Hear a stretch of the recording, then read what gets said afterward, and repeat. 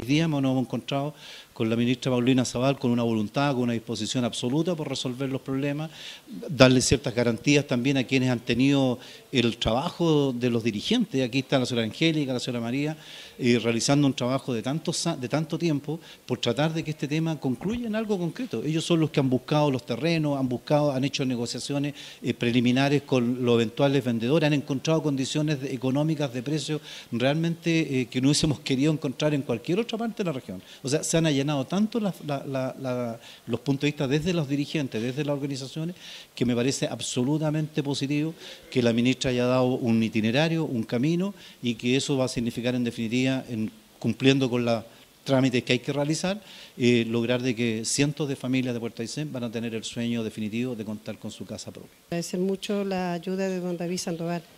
Sin la ayuda de él, desde el momento que nosotros empezamos a trabajar este tema, nosotros somos 302 familias que están en el comité Amuyén. Somos de una asociación indígena que por nombre lleva Guapi, que somos 525 personas. Don David, desde el momento que nosotros le pedimos su colaboración, nos empezó a ayudar. Así que le pedimos a todos, pero hoy día el que ha estado con nosotros ha sido don David.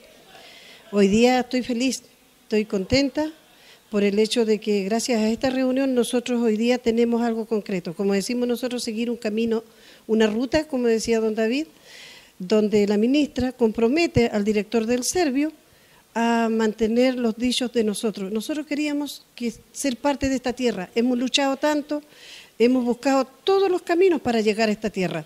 Nosotros, como dice don David, 70 millones de pesos vale este, la hectárea de tierra y son 15.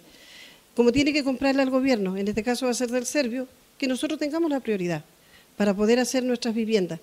Hoy día de verdad me voy contenta, me voy como dirigente, me voy muy feliz. La gente está esperando una solución y le llevamos algo positivo, algo lindo. Tenemos ese compromiso de que vamos a tener nuestro terreno, seguiremos luchando hasta ver al fin de nuestras casas, llegar al definitivo. No esperamos que sea, como se dice, en un tiempo récord. No, nosotros sabemos que tenemos que esperar un tiempo prudente, pero lo tenemos.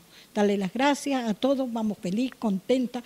Yo y la señora Angélica llegamos hasta aquí, venimos en representación de todos ellos, de nuestro comité, es grande, se sabe que es grande, pero a luchar y seguir adelante. Y gracias a don David por hacernos llegar y por estar aquí y porque la ministra nos dio esa alternativa que nosotros no esperar, la teníamos lejana, pero ahora sabemos que está ahí. Bueno, fue una muy buena reunión de trabajo en la cual participó desde luego Paulina Zavala, ministra de Vivienda y Urbanismo, el director regional del Servio de Aysén, Pedro Durán, y las dirigentes que se han sacado los zapatos tratando de sacar adelante su iniciativa para tener una comunidad como Dios manda en Puerto Aysén.